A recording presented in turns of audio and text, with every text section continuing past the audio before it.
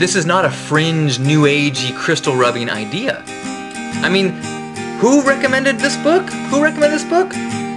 Oprah.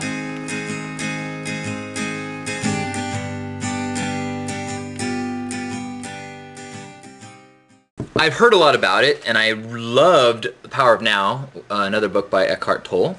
Even before I read anything in this, I was super excited and that that Oprah had kind of recommended it because really anybody anything that he writes has got to be from an awareness that has got to be good for the people. And when I say the people, I mean all people. I think he's he's on a very short list of of individuals that I consider to be uh, modern day prophets, mystics, enlightened. I mean, he has had a transformation touched by some sort of divine awareness and tries to share that. And what his book is about is that that kind of awareness is becoming less and less the property of mystics and prophets. It's becoming far more commonplace. I mean, there's probably a reason why there's so many people that come here every week for Hug Nation is because we all are starting to feel this awareness, this kind of craving for a purpose, craving for not so much a purpose, but but a meaning or a understanding or a peace that is separate from all the voices of the ego world, all of the materialism, all of the traditional faiths. And I think that's where we often get started on this path is we start realizing that the traditional religious systems are so far from what in our hearts we know to be the divine experience. And just so I'm clear about that, when I say the divine experience, I don't mean anything connected with a white-haired individual that's looking over us and touching people that ask for prayers and you know making sure that certain people win Grammys and certain people win football games and other people win wars.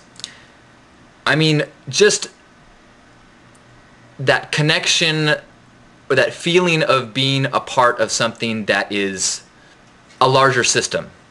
In the same way that an ant is a part of an ecosystem that involves trees and mud and decay and other animals and other plants and this whole system works in this beautiful cosmic orchestra, we too are a part of a cosmic orchestra and not just on a physical level, on an energetic level. That's kind of how I see it. I think a lot of people are starting to feel that in a sense. And so then as you start to feel the tremblings of, of that, which is what he's saying more and more and more people are starting to feel that, we we get less and less patient with our traditional systems, the status quo, whether it be our religious systems or our political systems or our social systems.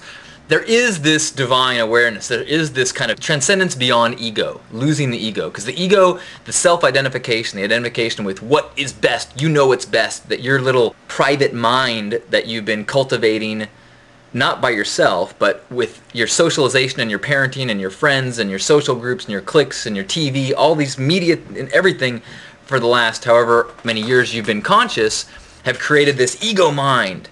And from that place is how we see the world and start making decisions on what's best for us, what's good, what's what's advantageous. And then we like get really attached to the plans that this little mind that has been distorted for however many years tries to create plans and then we work hard execute them and rah, and it's like can you see the problem with that it's kind of like you could be running the wrong direction on the football field and have no idea what if it's somebody on the other team that's like, Ron, no, you're fine, you're fine. You know, yeah, you needed a, you need a bigger TV. You totally need a bigger TV. Okay, okay, I'm gonna get it.